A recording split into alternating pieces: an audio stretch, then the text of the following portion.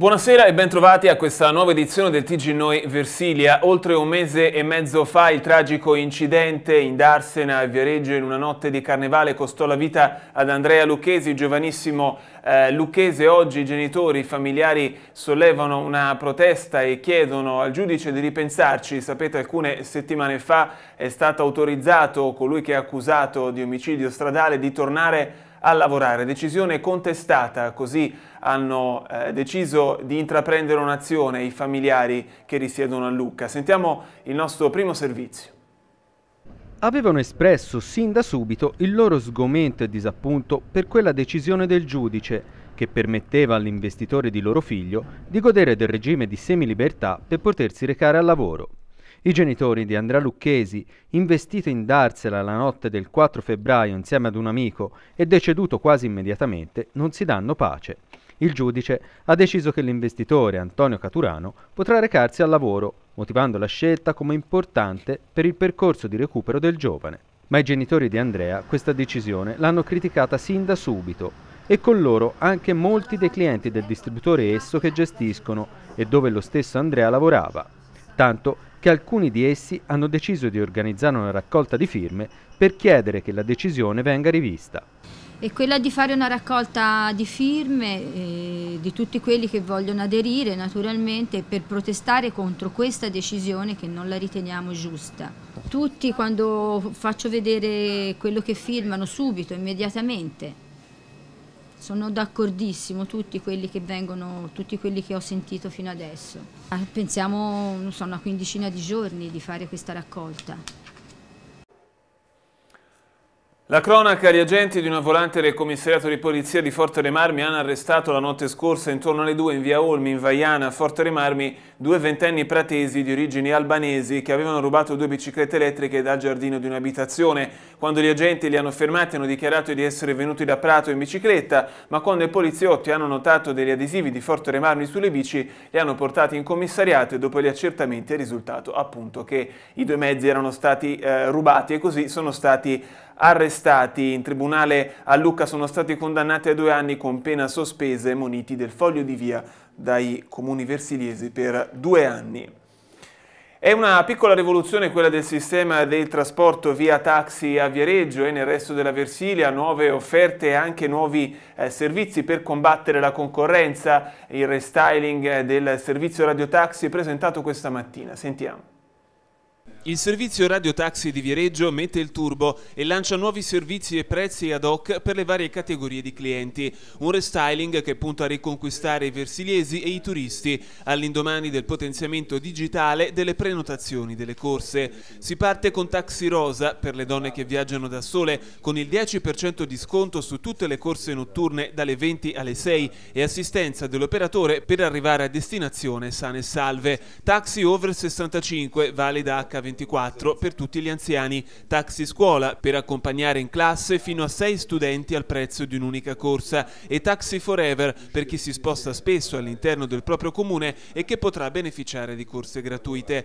Prezzi fissi e sconti fino a 15 euro sulle tratte per restare competitivi sul mercato. Per la città è assolutamente importante avere un servizio di radiotaxi efficiente, moderno e che si rivolga a certe categorie come stanno facendo, proprio perché la città è una città a orientamento turistico e un servizio di trasporto eh, del turista e comunque anche del cittadino, lo spostamento da un'area all'altra della città è fondamentale che sia al massimo dell'efficienza.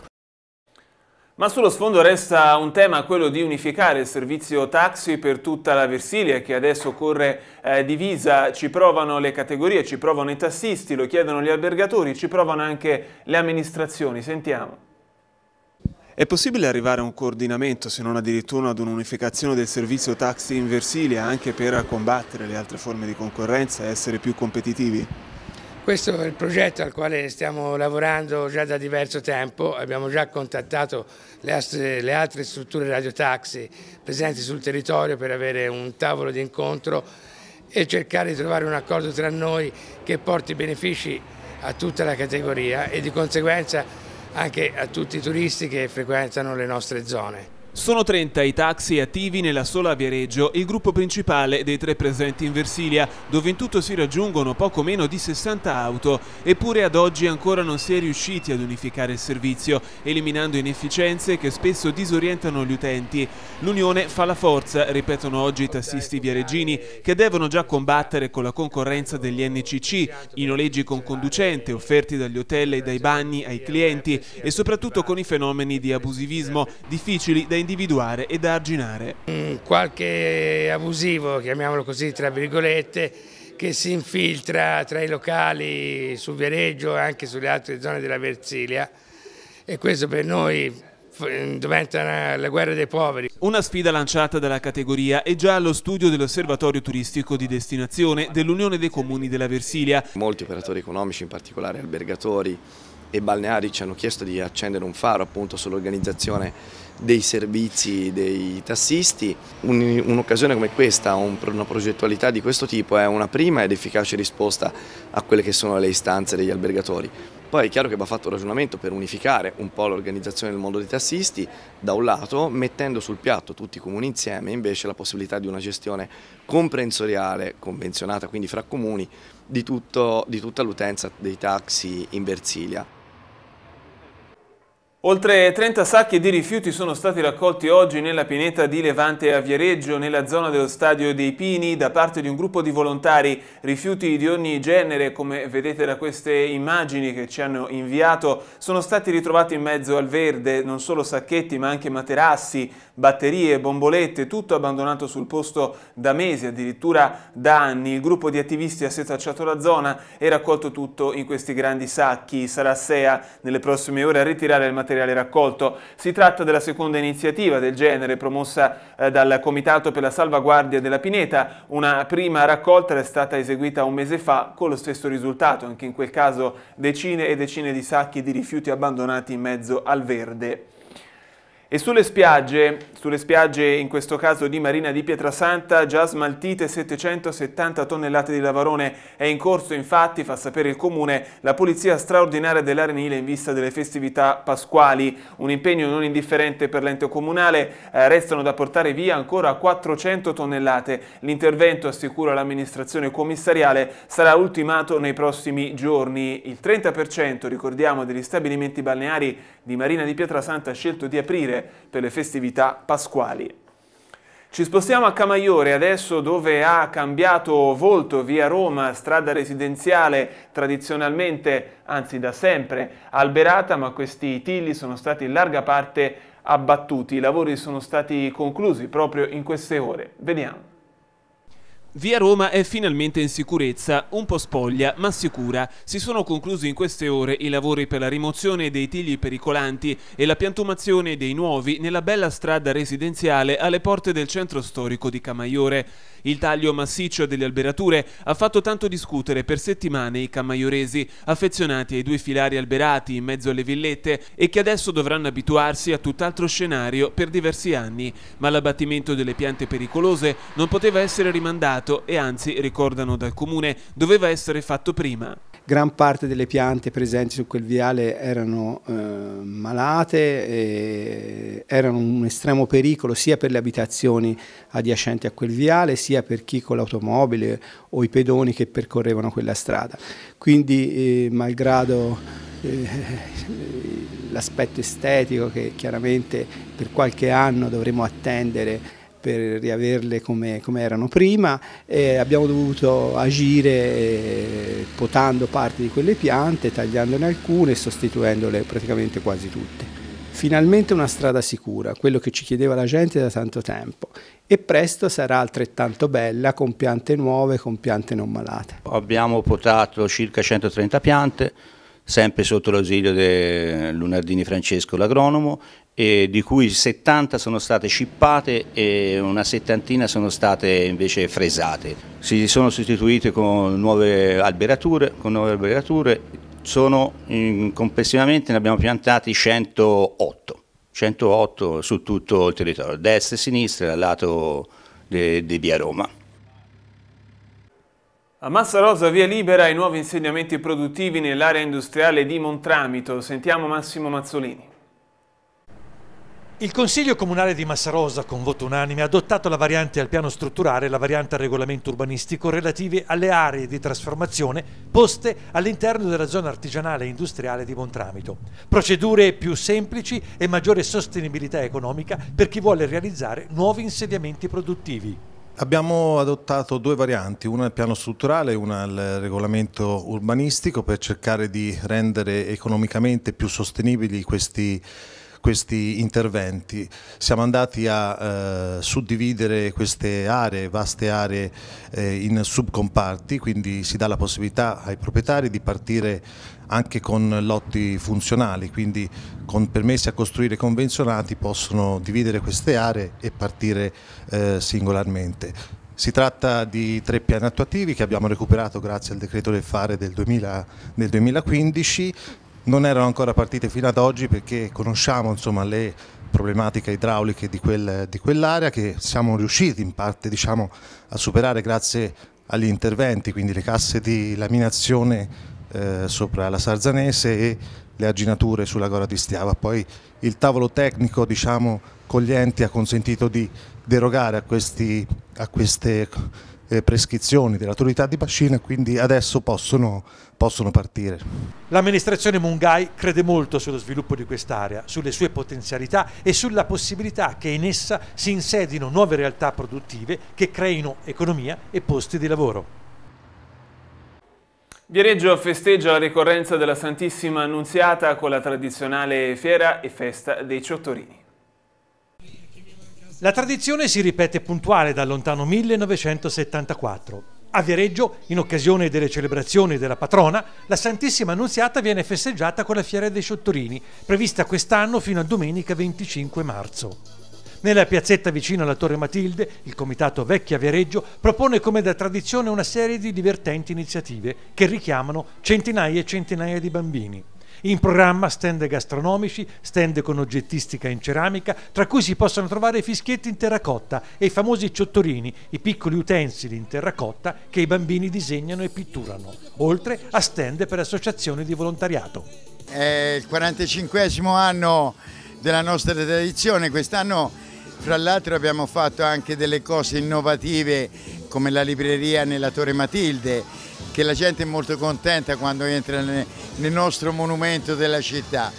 Poi abbiamo tanti artigiani che fanno dal vivo la, diciamo, i vasini di ceramica dal vivo, ci sono i giochi, divertimenti per i ragazzi, le nostre classiche torte e il nostro ciottorino che è quello diciamo il massimo che si può avere.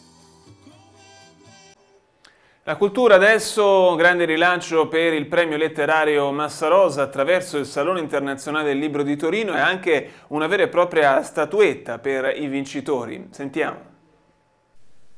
È stata presentata oggi con importanti novità l'edizione 2018 del premio letterario Massa Rosa. A illustrare le innovazioni è stato lo stesso sindaco Mungai con la consigliera delegata alla cultura Linda Frati. L'amministrazione comunale ha deciso di rilanciare il premio attraverso una serie di interventi tesi a rafforzarne il ruolo nazionale e contemporaneamente le sinergie con il territorio. Il primo vedrà la presenza del premio Massarosese in uno stand della regione toscana al Salone internazionale del libro a Torino. L'idea ci è venuta da quando abbiamo cominciato a collaborare con la scuola Holden, quella di Baricco, che poi tra l'altro è in qualche modo coinvolta col Salone di Torino. Poi abbiamo verificato che la Regione Toscana ha uno stand al Salone di Torino, ci siamo messi in contatto con la Presidenza del Consiglio regionale, la quale ci ha detto che avrebbe agevolato questa nostra presenza. La seconda novità è stata ufficializzata stamani nella sala consigliare dove il primo cittadino, la consigliera delegata alla cultura e la Fondazione Pomara Scibetta, che sostiene l'arte, hanno siglato il protocollo d'intesa che vedrà realizzare una scultura di piccolo formato destinata a rappresentare il premio che sarà consegnata ai vincitori delle future edizioni.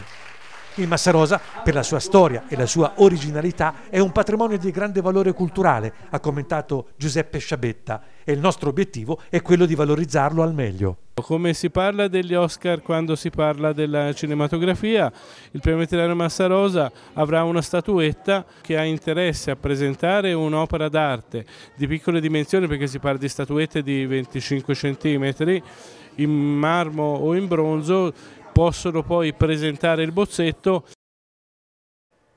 Ci fermiamo con la cronaca, tra poco di nuovo insieme con un'ampia pagina sportiva, tra poco.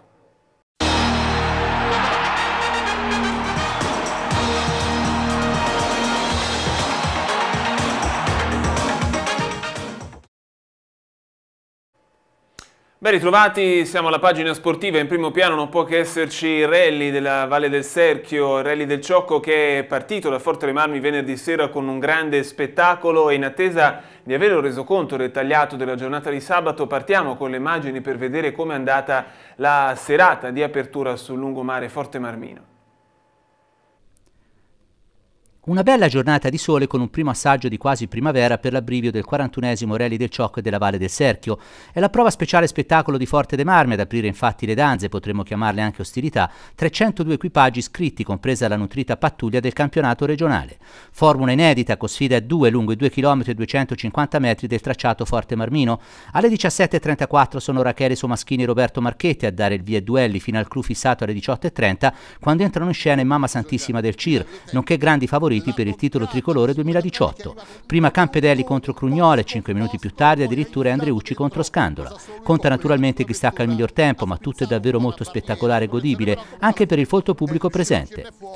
Campedelli un fulmine stacca il miglior tempo rifilando 6 secondi a rampante Grugnola. Il Cesenate dimostra subito di essere velocissimo. Subito dopo il colpo di scena di giornata, Andreucci e Andreussi accoppiati a Scandola partono con lo sportello del lato copilota aperto. Ad un certo punto la Peugeot finisce contro il New Jersey che procura la rottura del fanale anteriore sinistro.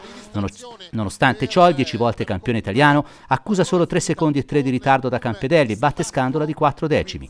Ma il siciliano Andrea Nucita su Hyundai a sorprendere tutti e con 2.09 e 3 a far segnare il miglior tempo di giornata. Bene anche Rudy Michelini a 5-3 dal capofila, terzo tempo provvisorio del giapponese Katsuta, sarà poi scavalcato dal connazionale Rai che supera Andreucci mentre l'altro lucchese Luca Panzani chiude a 6 secondi da Nucita, non male. E c'è grande soddisfazione a Forte dei Marmi da parte del Comune e dell'amministrazione comunale che fa un bilancio positivo di questa edizione della prova di partenza del Rally del Ciocco, bilancio positivo per l'affluenza di pubblico, per la promozione televisiva e soprattutto per il coinvolgimento della cittadinanza, ma anche il lavoro eh, per bar, ristoranti e alberghi della zona. Oggi però purtroppo è una giornata di lutto per lo sport versiliese, Forte Marmino in particolare. Si è spetto infatti Mario Carducci, figura storica conosciutissima da tutti i Forte Marmini, eh, per una vita custode del campo sportivo dello stadio Necchi Balloni di via 20 settembre, eh, legato anche al tifo dell'Hockey Forte Marmi. Arriva il cordoglio da parte della società rossoblu, del VHF e dell'Hockey Forte. È il momento del dolore di stringersi in un virtuale abbraccio con i figli Alessandro, esponenti esponente di spicco del VHF e del tifo rossoblu, i figli Riccardo e Roberto e alla famiglia a cui vanno le condoglianze eh, dell'Hockey Forte Marmino. Arriva un messaggio di cordoglio anche da parte del sindaco Bruno Murzi.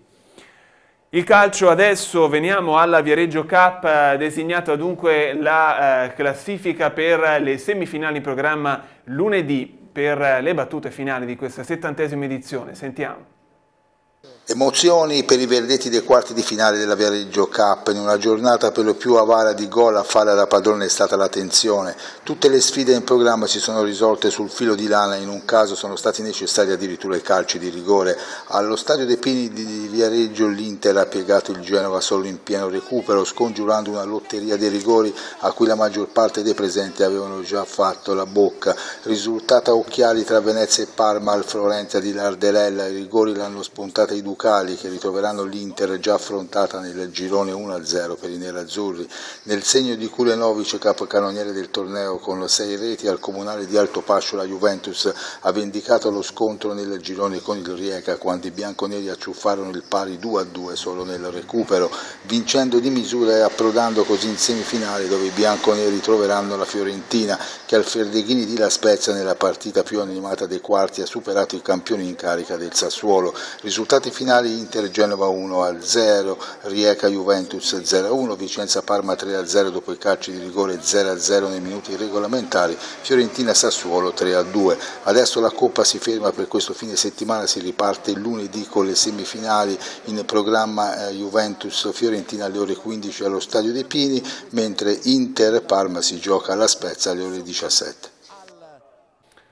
E veniamo al campionato di Serie D in programma per questa domenica. Per il campionato di Serie D il Viareggio va sul campo dell'Argentina domenica con le assenze di Lucarelli e Dinelli per infortuni e Minichino influenzato. Mister Bresciani è costretto a retrocedere nel ruolo di terzino Mattei inserendo a centrocampo Rustichelli arrivato da Sesti Levante la settimana scorsa. La dirigenza l'altra sera è stata a cena al ristorante Basilico Frescattore del Lago con gli Angeli del Viareggio, un gruppo di appassionati che stanno dando una mano alla società sia per questa stagione con l'intento di poter allargare il numero dei dirigenti anche per la prossima. Allo stadio Necchi Balloni il Real Forte Querceta riceve lo Scandicci terzultimo in classifica e Mister Buglio confida nella conquista di tre punti dopo il pareggio a Sessi Levante ottenuto con Togliarelli nel finale della partita evitando così una sconfitta. Mancherà Biagini per squalifica, rientra però Falchini. Il Seravezza Pozzi dopo il 2-0 alla Lavagnese che ha rialzato le ambizioni playoff va a finale contro un avversario che può essere battibile in modo da compiere un altro passo in avanti in classifica. Rientrano dalle squalifiche Bondielli e Rodriguez. Il Ghiviborgo è ospite della capolista Ponzacco intenzionata ad incamerare punti che dal derby Savona-Sarremese spera che giungano buone notizie. Il Ghiviborgo è reduce dal 2-2 con il finale cerca di potersi togliere definitivamente dalla zona a rischio play-out.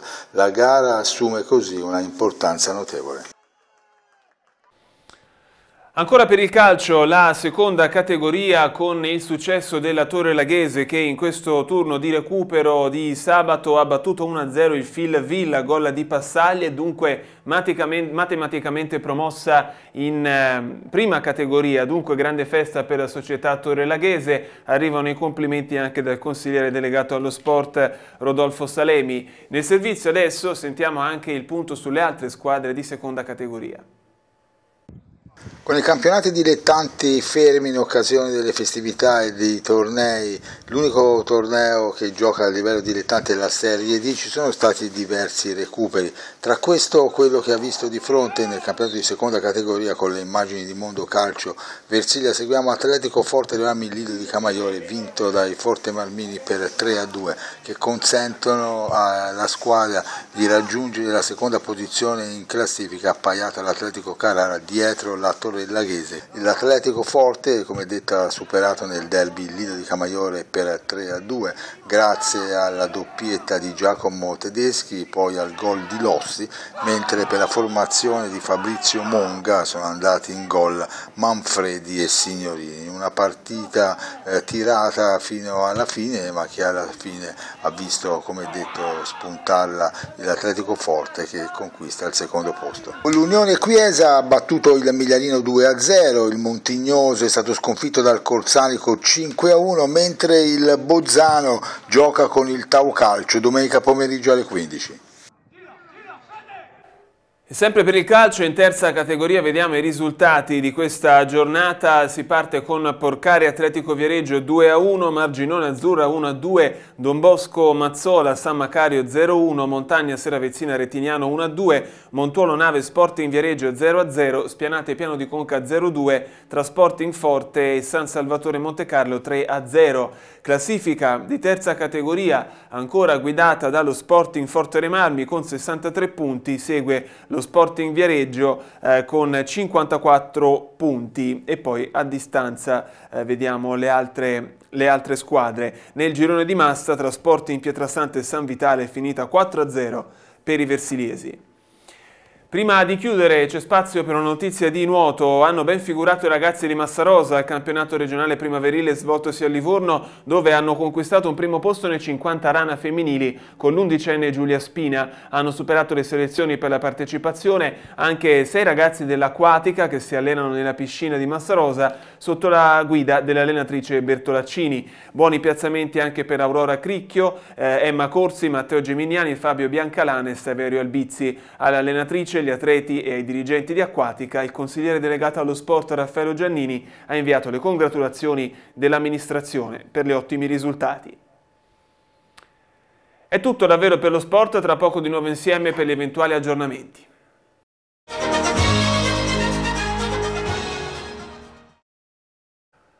Eccoci di nuovo insieme, terza parte del nostro telegiornale, non abbiamo aggiornamenti di cronaca, prima di salutarci non ci resta che fare gli auguri. Come sempre, questa sera gli auguri vanno ad un collega, Giovanni Lorenzini di Lido di Camaiore, giornalista eh, per molti anni alla Nazione, auguri da parte dei familiari, degli amici e dei colleghi. Auguri anche ad un altro collega giornalista, Marco Pomella, romano ma ormai di Massarosa, per adozione, oggi festeggia gli anni, auguri da parte degli amici e ovviamente da parte dello staff di Noi TV.